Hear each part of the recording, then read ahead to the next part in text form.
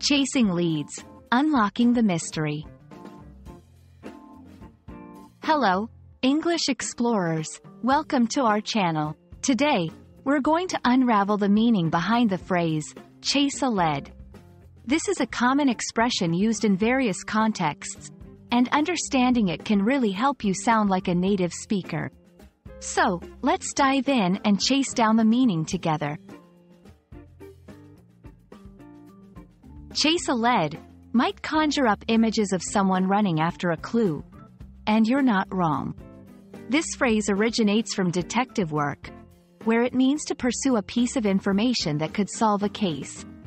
In everyday use, it means to follow up on a tip or a hint that could lead to a discovery or a solution to a problem.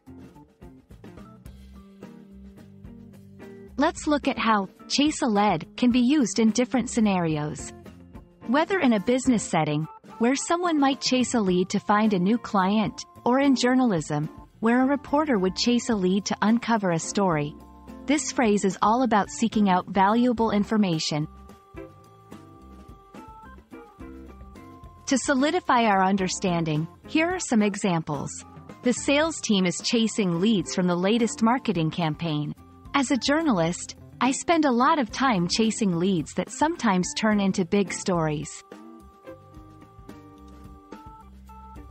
There are a few variations that carry the same essence. Phrases like, follow up on a lead, or pursue a lead, are often used interchangeably with chase a lead and are equally important to recognize. And there we have it. Now you know what it means to chase a lead, and how to use it like a pro. We hope this video has been enlightening and that you're now a little closer to mastering the English language. Keep chasing those linguistic leads, and we'll see you in the next video. Happy learning!